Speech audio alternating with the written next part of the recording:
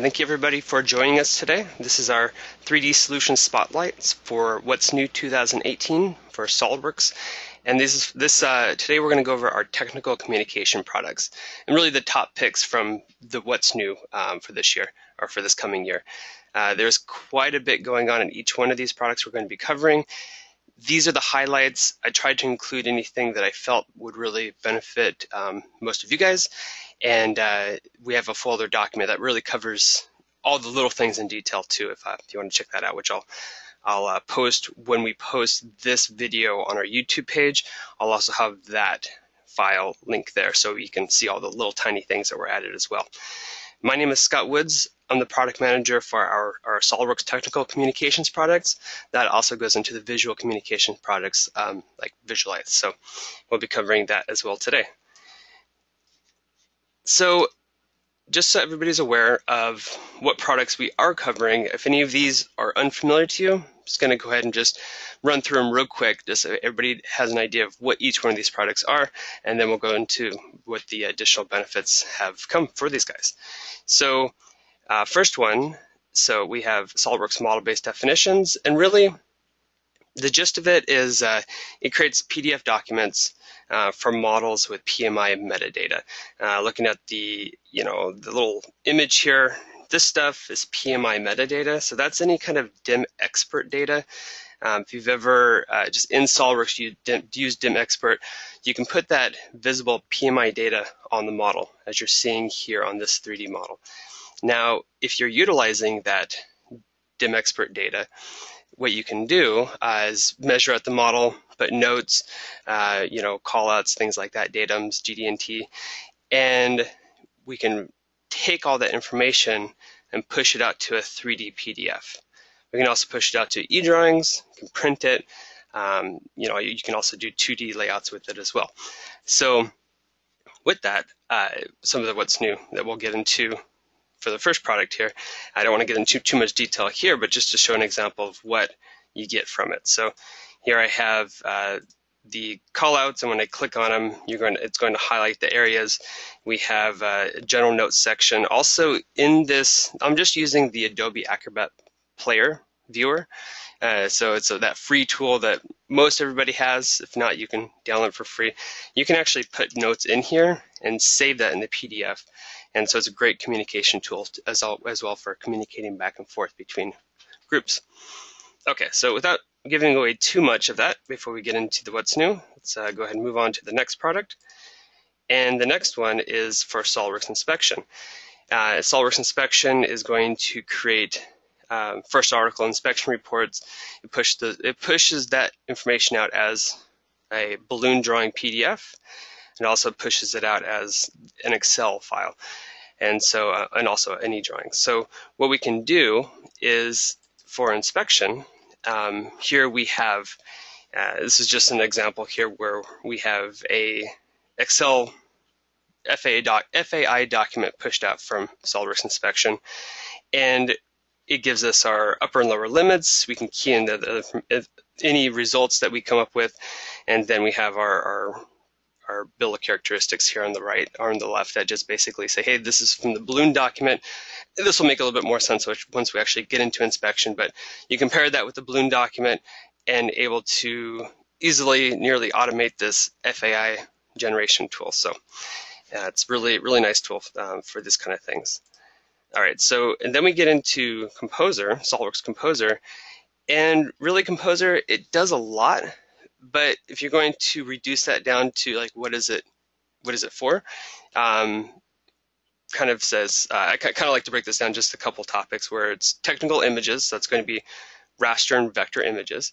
Um, so it's going to be kind of a 2D lines or pixelated images but very very technical type of images uh, it also creates a uh, from there we create assembly instructions and operation manuals so we can also take it to the next level and do something like this where we have this is a SVG, so it's a vector-based 2D drawing. And from here we can create hotspots. So I can say, hey, you know, I want to, you know, like pull apart that top assembly there. Um, we can use this for kind of a bill materials where you can see the, the balloons, uh, compare that to the, the BOM table and the parts there. Also, I have steps where I can say, hey, go to the next step. It's going to say, uh, here's the step that we're dealing with. It's going to be these, these parts here, which is part 301. We're going to use part 200 for the pin. Go to the next step, that assembles. And then we have our, our next components for, for the step after that. And you just continue through until you build this thing. And then we go back to the main assembly, assemble these components, those components, and then have another assembly for everything, put it together. Also, Composer is capable of making animation. So you can take those steps that you did, and there's a full timeline in the software that will throw it all together, output videos, um, and you'll see it's a very technical type of rendering here. And not to be confused with the next product I'm about to talk about, which is SOLIDWORKS Visualize. Now that one is for photorealism. So once we get into that, which I shut this down and open up the SOLIDWORKS Visualize, which will be the last product we're talking about today. This one, in this example, it's like a, it's a 3D environment, right? So it's photorealistic. It's this runs on any browser. You don't have to have anything special, no plugins or anything in order to view this content. And so here I can go ahead and I can just take a look at inside this motorhome, right? I can look up, down, I can examine areas, and it's all almost photorealistic. It is photorealistic, and that's what it's meant for. So for creating, you know, 2D renderings, um, well, 3D renderings, but uh, you know, rasterized renderings like JPEGs or bitmaps, but in photo quality, animations and photo quality, and then virtual environments like this. And we have some really cool stuff that just came this year, which uh, we'll talk a little bit about as well. Okay, so now that everybody knows what products we're discussing today, uh, let's get into what is new. So first off, so uh, for SOLIDWORKS model-based definitions, we have uh, these new uh, PDF templates. And what I'll kind of do with each one of these slides, just because we're covering a lot of information, I'll kind of go over uh, what has been added, and then I'll show kind of the, the, the, the top picks from those in the software. So um, with these new PDF templates, uh, a lot comes with 2018 for landscape, portrait, and just a way to take your, your 3D model with PMI data and output those in real nice templates. Uh, but additional to that is these templates control the size of the text according to the size of your model. Now, if you were using or are currently using model-based definitions, you'll you'll notice that in everything before 2018, uh, you had to have different templates for different sizes because if you had a really large model, you might have little tiny text. A really tiny model, you might have this huge text. Well, these templates are much smarter and they control the size of the text per the size of the model, which is really nice. You don't have to, just one less thing you have to worry about or think about, which we'll show here. Um, also, the step AP242. So this is um, for aerospace and defense industries. This AP is a, a newer kind of step 242 um, file, and it's just that PMI data, that uh, manufacturing data that exports with the step file. And I uh, just a lot of companies actually require this file format uh, if you're going to be working with them. So um, these are this is machine readable annotations in the 3D model, and that just exports right with the 3D PDF, which we'll show as well. Um, now there's also a 3D PDF slideshow, and so you have this 3D PDF, you hit play, it plays through all the views, it's really nice. And then we'll talk a little bit about these guys uh, once we actually show the, the software here. So let's jump into, oh, exit that, and let's go to our SOLIDWORKS here. So this is SOLIDWORKS. Now, model-based definitions is part of SOLIDWORKS.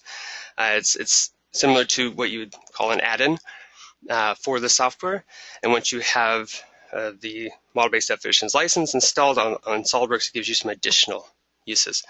Now, here, if I were to, let's say, open up this top component, you'll see this is DimExpert data that's been added to the model. I go to my 3D views here, this is model-based definitions. So I have these different views of these different elements that have been added with DimExpert. Now, you don't have to have model-based definitions to use DimExpert. And so what DimExpert does, uh, it's, a, it's a SOLIDWORKS tool, um, and it does similar things to the SOLIDWORKS drawing, but it does it at the 3D model level, parts and assemblies. So in this case, we have our our GD&T measurements. You can include cold callouts, uh, annotations, all sorts of stuff with DimExpert. Once all that data is on the model, then we have something usable that we can export using model-based definitions. And inspection, but we'll, we'll get to that one. Um, but here's the different, the different views um, that we have set up. So that one just has one annotation. This top view has a few, and then we have like an isometric with, you know, just kind of that angled view. We can take a look at them. They're all in 3D, so we can rotate and we can zoom in and take a look at those areas. But uh, let's go ahead and produce a 3D PDF. So I'm going to go ahead and say publish to PDF.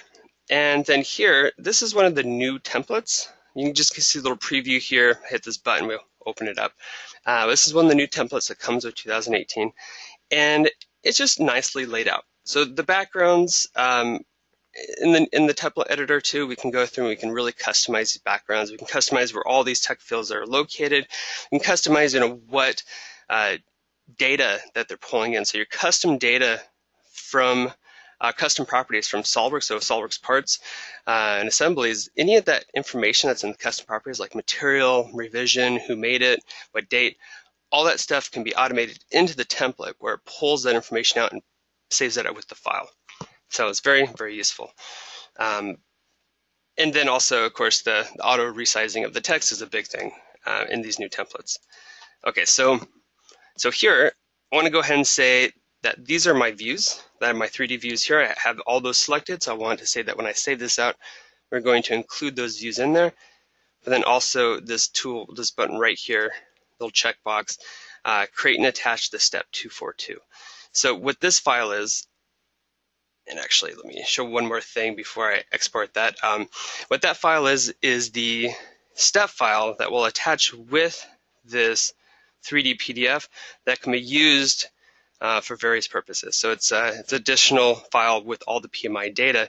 And if you have a CMM that can use step 242 data, uh, you plug that in and you get the, the results in CMM, which I'm diving a little bit into inspection, but these two products are kind of uh, very, very well connected, so that's why they kind of overlap a little bit. Uh, but there's one use for that, and then also for you know uh, CAM purposes and things like that. So uh, really useful data there. Um, this is the custom property field. So uh, the custom properties that you have of the model in SOLIDWORKS, we can go through and we can pull these in. I, I know like material, I know it's blank for this one, but if you had material assigned, you can click that and it'll add it to the material field. So um, should be very, very similar to our other products, how that pulls in there.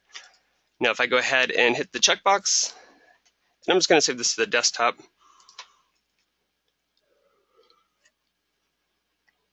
As you can see here, it's going to go through and you'll see a few things on screen, uh, kind of flipping around, a lot of annotations. Just ignore that. What it's, it's, just going through and it's analyzing the model and it's creating those views for the 3D PDF. Uh, a lot of sketch dimensions and things we're seeing here. So model dimensions.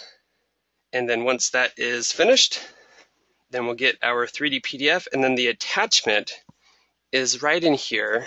And I didn't even know this was capable in the standard uh, uh, PDF, 3D PDF, or even you know 2D or 3D PDF. But if you didn't know, uh, there's actually attachments in the PDF itself.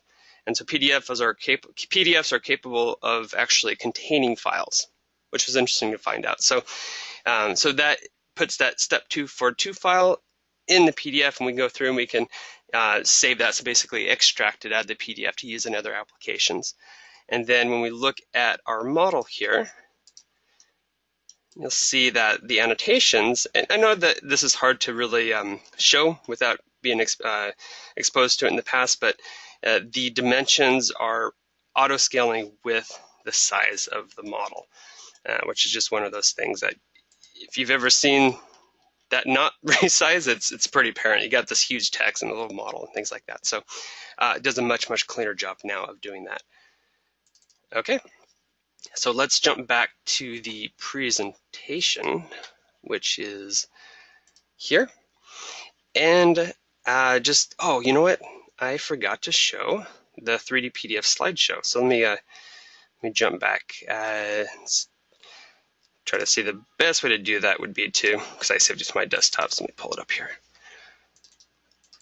All right, so one last thing I glazed over was this guy right here, a little play button.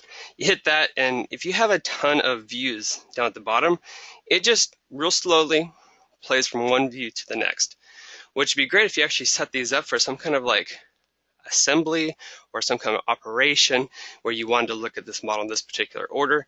Um, and it is nice and slow, you see, and it just cycles through the two, or uh, through however many views you have, and it, it displays them and moves on to the next. So uh, it's a nice little enhancement there.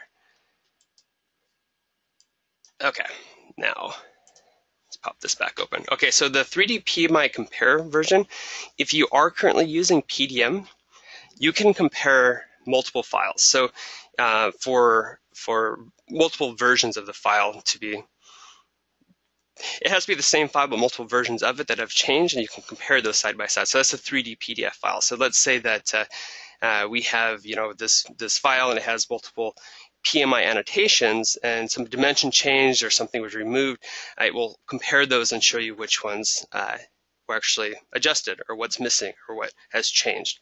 It's things like that. Um, there's also the import of uh, PTC Creo, uh, Siemens, CATIA, Step 242, all with PMI data. That's in to, um, uh, you know, because there's no reason to have the import of SOLIDWORKS files because you're already in SOLIDWORKS as an add-in for SOLIDWORKS. But now we can import these other files with that data and then create the 3D PDFs off of those as well. Okay, so uh, next product we're going to go into is inspection. And so with inspection, and it's not like you have to choose one or the other when you when you when you purchase the software.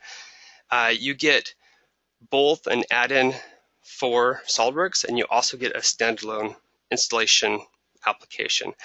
And so, for instance, with model-based definitions, there's no, there's currently no standalone application for that. You have to own SOLIDWORKS. It it is an add-in for SOLIDWORKS. Where inspection, you don't necessarily have to even own SOLIDWORKS to use it. Uh, and it installs separate from SOLIDWORKS, but it also installs as an add-in for SOLIDWORKS. So if you do have SOLIDWORKS, of course, you have a lot more uh, capability than if you didn't own SOLIDWORKS, if that makes sense. Uh, so the add-in is the first one I'm going to talk about, and this is the one that if you if you are if you do currently own SOLIDWORKS and you install uh, inspection, it's going to install this tool as well.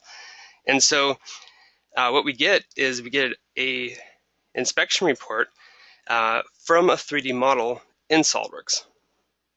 So it's quite cool because we've been waiting for this, and this is one of those things that you know, we, we knew was going to happen. We've been talking about it for a couple years, and now it's here. So what that's going to give us is the ability to take a 3D model with the DimExpert PMI data on the model, just like we do for model-based definitions, but it will balloon that data so we can connect it to a an export, um, an Excel drawing, uh, or an Excel sheet for that matter that has all the bill of characteristics on it, and then we have our 3D annotated PDF, which is really, really cool.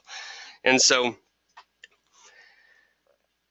yeah, and that uh, that goes in the next one with is and as long as you have model-based definitions installed, then that gives you the ability to export the 3D PDF. So we can create the inspection report off the 3D model without model-based definitions, but if you want to be able to export the 3D PDF with the balloon data, uh, then that requires to be model-based definitions to also be installed. So there are, uh, they really complement each other.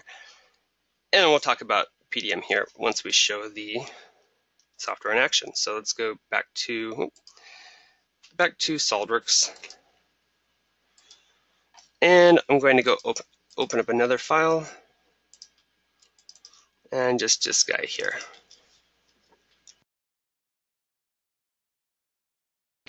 Okay, so now we get a similar model with uh, DimExpert data on the model, just like that, and I want to create an inspection report from here. So in the past, in order to create an inspection report off of what you're seeing right now, we would have to bring this model into a drawing. We'd have to say, hey, show the DimExpert annotations. They pop up, create your different views in the drawing, save that drawing as a PDF and bring it to inspection, or from SOLIDWORKS in that drawing, create the PDF, create the inspection report right off of there with the add-in. And so there was a lot more steps to get to the same end result. But now all we have to do is say new inspection report. I'm going to use the default template for that. I'm going to here, and this again will also pull out, uh, just like with model-based definitions, this will pull out metadata from the custom properties of the SOLIDWORKS component. So if I said part name, um, and it works just the same way. So this is all the metadata, all the custom properties that it, that are that it's in this SOLIDWORKS component, and we'll say, well, the part number is actually the description. Let's say so. We'll say that, pops it in, part number. We got part number revision. I'm just going to do a couple of these revision, something like that. You just you just fill these out until you get all the data that you need. So it's just a reference to the existing data that's there. And of course, you can key things and type things in if you don't have that data as well. And uh, this here is the extraction criteria for the model. And um, it's basically saying what, what dimensions are we going to be focusing on. Uh, this is the same thing uh, for the extraction setting and then also for the GD&T, how it, how it defines that. But that's for another presentation. Um, the tolerances, uh, this is the default tolerances for this document. We can change that. We can keep that as it is. I'm going to go ahead and keep it and just say OK. And it goes through all these dimensions all these DimExpert dimensions and it's going to balloon them. You'll see based off the extraction criteria I had, that's why this one didn't pull out there because it's reference. So, uh, but if I would have made that for inspection, it would have done it as well. But now we get these balloons that are part of the PMI data on here. And then from here, I have a few options. So if I, I can do a 2D PDF export, which is going to, for every view that I have, and you'll see that I have my 3D views that are that are coming from model-based definitions. I can use these as well. And then also use the standard views like front, back, top, you know, isometric, left, right, those things like that. So any views that you have set up, we'll save those out as PDFs. And then if I have model-based definitions installed, which I do, I can export as 3D PDF. And let's just go and put that on the desktop as well.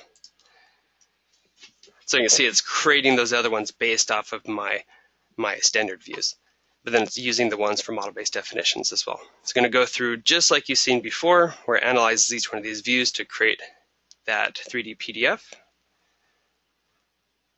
And that should pop up in just a second. Oh, just popped up my other screen here. And there we go. So there is the 3D model. There's all the views. And if you look, all of these are ballooned. So you have all those balloons in 3D and say that you're you're going to be inspecting this guy and you're like, okay, well, what's that dimension right there? Well, there's the balloon associated with it. We can type in notes just like we could before and save this PDF with those notes in there. And then going back to SOLIDWORKS, we can take this and we can save it as an Excel file. So here I'm going to just do my standard AS91, AS9102 template and let's save to the desktop. And then from here, I have an Excel inspection report with the bill of characteristics from SOLIDWORKS, and then I just go ahead and key my results here. And I, then I use that balloon 3D PDF as my reference document. So it's uh, all linking together pretty slick. And uh, so finally, we're able to do 3D inspection reports, which is which is huge. That's one thing that I've really been looking forward to. So that's uh, that's great that we now have that in 2018. Okay, so back to the presentation. Uh, PDM integration for projects and exports. So this is going to be integration with PDM, if you're currently using PDM or looking into it, uh, for inspection. So that's going to be both your inspection project, but then also the exports you export. And uh, then so you can put those into the vault, secure them, check them out, and that's going to be for anything that's inspection related, which is really nice because I mean you want to secure all your data. So that is now fully integrated in 2018. Okay, um, now we're still talking inspection, but like I said, the inspection software installs with both an add-in for SOLIDWORKS and then a standalone application if you don't own SOLIDWORKS. I shouldn't say that. If you uh, want to put inspection on a machine that doesn't have SOLIDWORKS, so within the same company, um, you can definitely own SOLIDWORKS with the add-in as well, or the standalone. So uh, it's totally up to you how you want to do that. You can both have the same machine or separate machines that are not running SOLIDWORKS. It just doesn't require it. All right, so the standalone application, um, now we can import additional 2D formats. So previously it was just PDFs and TIFF files. It still imports PDF and TIFF files, but now we can do AutoCAD, the DWG, uh, file format, and also Cat5 uh, CATIA drawing files we'll import as well. Um, so just a nice way if you do receive those, we can bring those in now. I know I think uh, probably 98% of all uh, interactions I have in the past are all PDFs, but just so you know, these, these now are available. And we can also import 3D formats. And keep in mind, this is for the standalone application, and that's going to be 3D XML files, um, PTC and Creo, and then the, the CAT, the CATIA files as well. So in this list, um, these are 3D models with PMI data that will come directly into the standalone application. The biggest thing I want to talk about right away is uh, ExtractionXpert and Improved OCR Engine. So I kind of grouped those two together. They're technically separate from each other, but they kind of they, they both point point you in the same direction. So um, with the standalone, um, let me just pop it open. I think that will make more sense. But basically, it's uh, uh, it calculates over 200 combinations to pull accurate data, and so it's a lot more accurate in a nutshell. But let's go to inspection. So here's SOLIDWORKS inspection. I'm going to go ahead and start a new project. Use that same template we did before. And okay, so what this tool now does for the, um, let's see, for the characteristics here, is let's see, we have a dimension, and you know what dimension do we want and if I just box that dimension there right, so what this did is it automatically detected that it's a geometric tolerance uh, units are in inches that's just the, the the document format you also see this is kind of squished a little bit. I'm not sure there's, you know, basically we're trying to show that, you know, these DXF, the D, or DW, DWG files, they're not always perfect when they're sent over. they really don't need to be because this new extraction criteria really analyzes this data and it pulls it out really well. Um, you see that it did a pretty good job of the GDT, uh, GDNT data, it pulls that out, but also like this dimension right now, I can't even see what's going on there, but when I box it, it's going to tell me, oh, it's uh, a 9 inches plus or minus 0.1. If I zoom in to that area, it's exactly what it is. So before, because uh, what it's using right now is OCR, it's optical character, character recognition, and it's based off of where you're zoomed on the model. And so if you wanted to pull out information, you need to zoom you would need to zoom into that area so it looks nice and clear so when you box it. The OCR, OCR is like a camera. It takes a snapshot of it and it says oh that's a 9 that's a 0 that's a 1 it puts them all together. Well now it runs through over 200 different combinations trying to figure out what that best result is uh, based off of some pretty extensive code. But uh, but it does a great job. And additional to that is it gets confused a whole lot less as well. So, uh, but in a nutshell, the inspection standalone, uh, I think the biggest thing we can pull from here is that the the extraction criteria for the OCR is just much better. So going on to Composer, we have our SOLIDWORKS BOM import. Composer is the tool that will actually take the data um, from you know any CAD data, any 3D data, brings it in, puts it into a format where you can just freely move things around, add annotations, delete stuff without worrying about modifying the original design. And then from that, now we can pull in extra data. And this SOLIDWORKS BOM import, so this is like top level BOM imports from like SOLIDWORKS assemblies, and those bring in and they're going to compare them one by one. So whatever's in the SOLIDWORKS assembly BOM is now going to be what's in the Composer BOM. This isn't technically new for 2018, uh, but I wanted to throw it in here. So again, it's going to import that BOM from the SOLIDWORKS assembly. It's also going to import any appearances. So now inside SOLIDWORKS, as we take uh, our, our appearances and add them to the models, that appearance data is also going to pull over into Composer. And then we have more measurement controls. We actually have a new label in there for measurement. Uh, we can actually uh, adjust the, the details of the label a little bit deeper, which we'll show. Uh, and then the last thing, just to give you a heads up I'm about to show here, is the animation library. So you've always been able to animate in Composer, but now we can actually automate that animation, make things a lot easier. So without further ado, let's jump into Composer and show that. And here I got my import texture. So I'm going to go ahead and bring in my textures in from the SOLIDWORKS data. Also, I want to bring in the the SOLIDWORKS bill materials, that BOM there. So let's go ahead and open. So while that's doing its thing, let me jump back because it's going to take probably about 30 seconds or so. It's going to be pretty quick. But while we're waiting, let's go back to our slideshow here. And let me talk about the animation library just a little bit. So when you're making steps in Composer, when you're making step by step, and you have, you know, some parts you're bringing in, some parts you're removing, some parts you're moving uh, around, adding annotations, it saves each one of those as a as a view, as a step. As you drag and drop that into the timeline, it creates an animation. But if there's certain parts of the animation that you want to make quick without uh, without having to make the steps of it, that's where this animation library comes in. And this is another one of those tools that isn't necessarily brand new for 2018.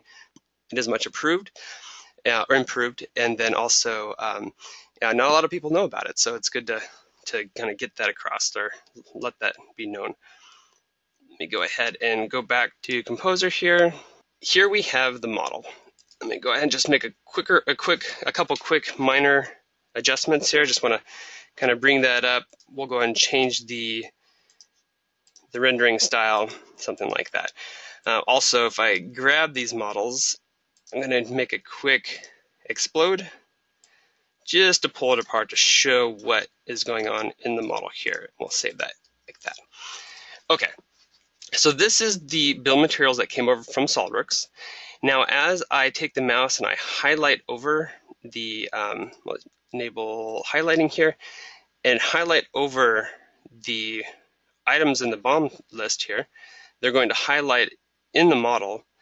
And that's that's the big part about why this tool is so great. So um, the ability to bring over the bill of materials from SOLIDWORKS into Composer isn't just bringing a snapshot of the the Excel BOM table.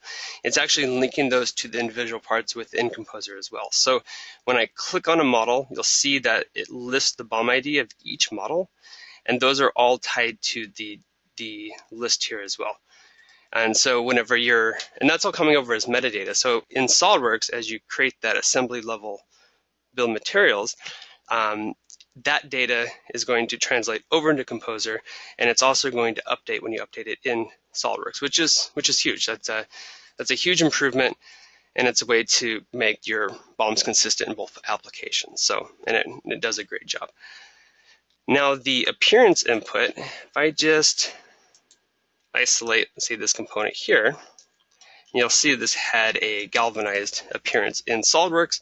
That now comes over into Composer. So again, just a, a, way to make things a little bit easier here, and make things look a bit nicer, because I mean, if you are spending the time in SOLIDWORKS to color your models and add textures and things like that, we want those to come over, and it does a pretty, pretty good job of doing so. Okay, now the other tool I want to show is the measurement tool. So if I go to my measurement options here, options here and let's do like a diameter. Um, so th this is kind of a small enhancement, but it's it's a good one. Um, there's a, now a label option or label field in the properties, and I can go ahead and I can say, you know, that's a, that's an auto auto alignment um, or auto orientation uh, where it's going to orientate the that that dimension um, per the line, kind of depending on what view you're on. And then also if I set that to horizontal, no matter what view I have, it's going to remain horizontal. So, um, you know, if you want to do something, you know, like, hey, that's a circle, it's a different color, and things like that. So again, it's it's a small thing, but it's pretty cool, um, and just adds a lot more capability to the dimension tool, a lot more customization to it.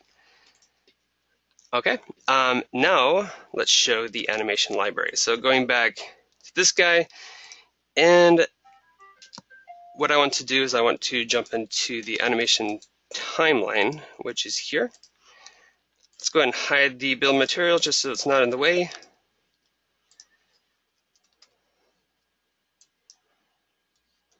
Something like that.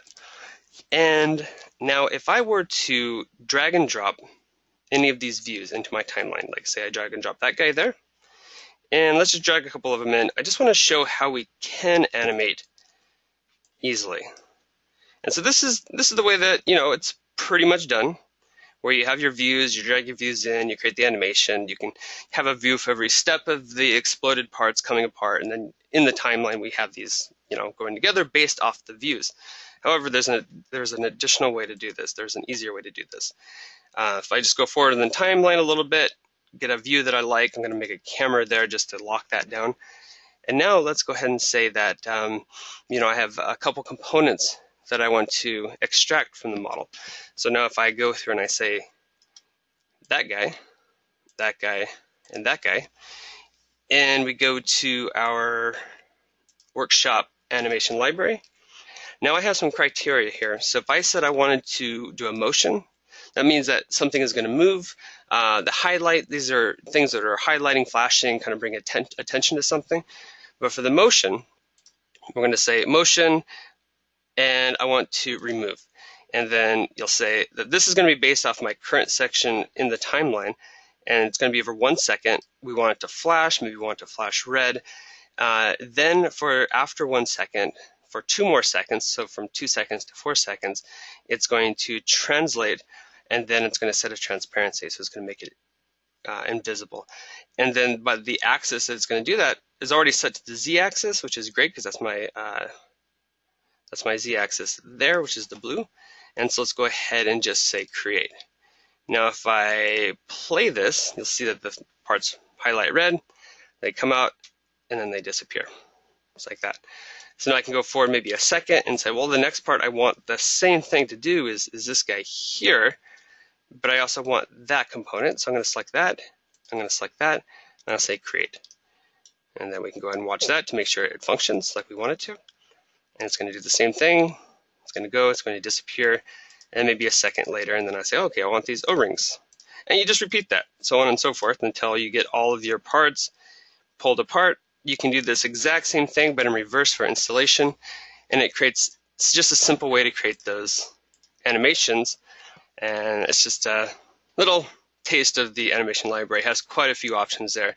Uh, and you can control everything. So you can say, hey, we want that to flash blue, and I want it to rotate and spin and, and highlight and disappear, whatever you want it to do as it's doing it, making its movements.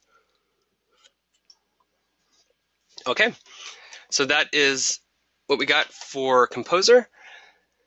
Let me uh, jump back into the presentation. And uh, the next is Visualize. Now we are running out of time. Um, it, they added so SOLIDWORKS added a ton of stuff to visualize, and I I, I want to show um, this in really high you know detail. Uh, we just don't have the time for it today, so I'll kind of do the highlights. Uh, but on December sixth, sixth, uh, it's Wednesday, 11 o'clock, going to have another presentation for Visualize, and it's going to go deeper into um, the highlights for it and additional things it can do. Really, the power of of the software. So, uh, if you're really interested in Visualize, December 6th. I'm going to go into much more detail. For this one here, just talk about the enhancements and show a couple things. So first off is um, uh, the user interface. So the whole interface of the product has really improved. So we can go in and uh, uh, we'll show, show in a second here, but basically all the all the buttons are a little bit different, all the placements a little bit different. If you are a Visualize user today, it's not going to be a huge learning curve for the new uh, interface It's just cleaner.